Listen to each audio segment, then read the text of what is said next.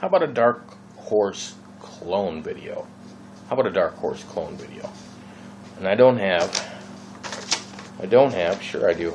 I don't have, but I do. Dark Horse clone 1595 from FastTech. This is one of the uh, more expensive clones of the Dark Horse on FastTech just because um, it's machined a little better. It actually holds together a little better. So I opted for the one that will hold together. Now, this is dry right now, so I'm not going to vape it yet. Yet. And I did forget to bring a screwdriver over here. What did I do with that? I'll use the screwdriver out of the fogger container here. Got to use it eventually anyhow, right? Which side? Not that side. This side. I'm just gonna, I gotta move my wick a little bit. But, uh, cause I goofed it up when I was fiddling. Now, what I got in here is a twisted, jeez, can't even see that. A twisted, maybe if I pull it out, 24 gauge, six wraps, around a three millimeter screwdriver. And this is what the Dark Horse is made for. The posts on it, I'm sure you've seen other videos. The posts on it are just huge. They're huge. They are. They're massive. I did notice on this particular clone, you can kind of see that right there. The uh, negative and positive on this side are just a butt fraction away from each other. I mean, you can't even get the screwdriver down in there to uh, space them out. But there's just like a few pieces of paper worth, oops, sorry, of space in between there. You can just barely make that out. Use the wall behind me. Should have turned the brightness up on my video, huh? Let's see. Will it do it while I'm messing with it? Nope. Oh well. We'll save that for the next one. You know, just roll with it. And uh, what the Dark Horse comes with came in this handy dandy box from FastTech. You get grub screws. You get uh, the Allen wrench, the O-rings, couple pieces of silica wick that have pre-wrapped coils on them. You also get it's hard to get this stuff out of here. A white and a black top piece for a normal 510 drip tip. And this drip tip comes with it also. This is what comes on it standard right away, right out of the box. Nice, good size airflow. Okay?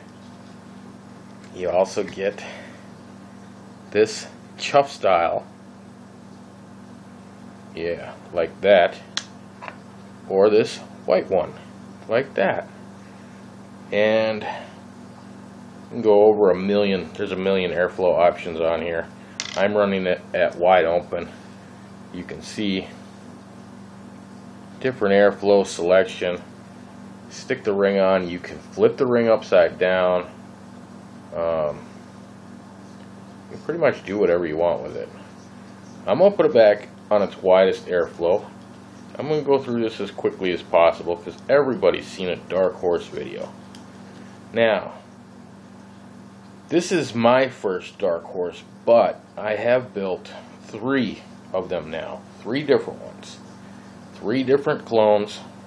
As far as I know, this is the only one straight from FastTech. Um, the other two were eBay's. Okay? The other two were eBay's and they all have a similar issue. Take this off of here. And we're going to put it back on the SIG because I don't feel like running a .2 on my mech mod. Sometimes it just doesn't feel good in the hand. If you know what I'm saying. Hot, hot, hot. So, And I've noticed running this on my SIG, we're going to bump her right up to 100 because that's that's a dark horse, man. The dark horse is made for power, right? It's got giant post holes. It wants a low build. It wants some heat. It wants to go. It wants to play. And that's just how it is. Now, what do you want to run in here? How about how about some ESP pink drink? Let's run some ESP pink drink through here at 7030. And uh, being a CLT V2 Plus user, I have the problem with the Dark Horse that I overdrip. All the time. All the time. I overdrip.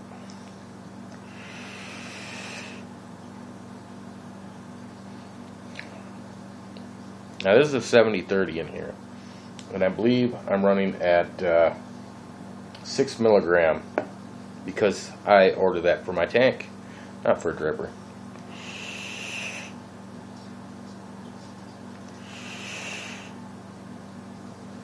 It's a really hot bait at 100 watts. And I'm only running 4.8 volts. But at 6 milligram, that's way more than I want for the dripper. Um, and the other one, juice in front of me is also 6 and another juice in front of me is 5 so nothing I have in front of me is going to do this justice. It's holding up quite nicely. Is the flavor there? No. It's a dark horse um, and if I want flavor out of it I would change the build in it and I would cut the airflow down a little bit and then I would have flavor out of it. I know that because I've built one that way already. This is for chucking clouds and I don't have my cloud chucking juice in front of me. Why would I do that? Well, why not? It does produce some really nice, thick, dense clouds and you can't see me. There it goes.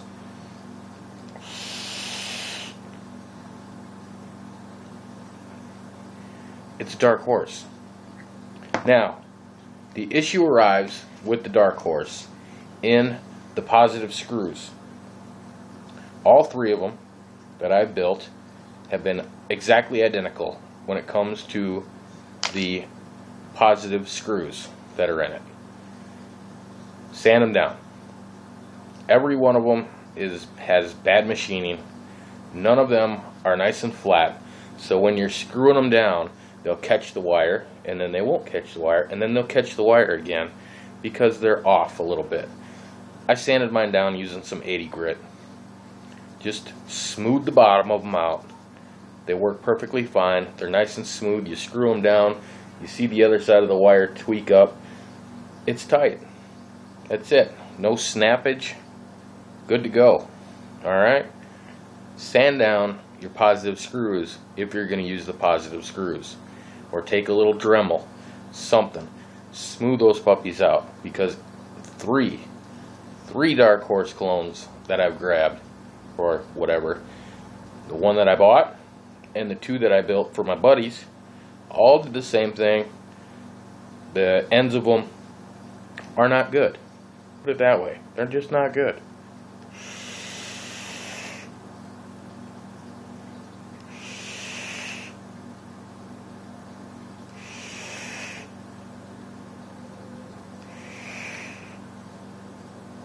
Okay?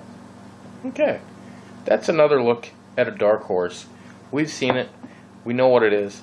I don't want to dwell too much on it. It's just for clouds, bro. For clouds. If you want to flavor it, you put a different build in than what I have in it, which is twisted 24 gauge, two strands. I only went two strands this time. Two strands of twisted 24. If you want a flavor build, use some 28 or something. Use uh, Clapton coil. Use something else other than what I put in here. This is for just straight cloud chucking enjoyment. That's all this is for. You're not going to get a lot of flavor out of it, especially at 100 watts. I can probably go down.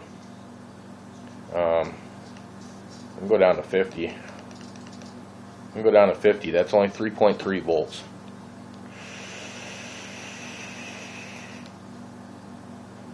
It is a little cooler. Still, the flavor's not there. It's wide open.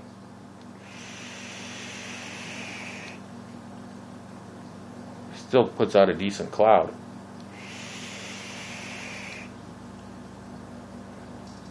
Slightly more flavor, but that's not what that build is about. So if you want more, change the build, cut the airflow down a little bit, and use the standard drip tip. Flavor will be there. That's how you do it. If that's what you want to do. Is that what you want to do? I don't know. If you have one, it's yours. Build it how you want. You all have fun now, because I know I will.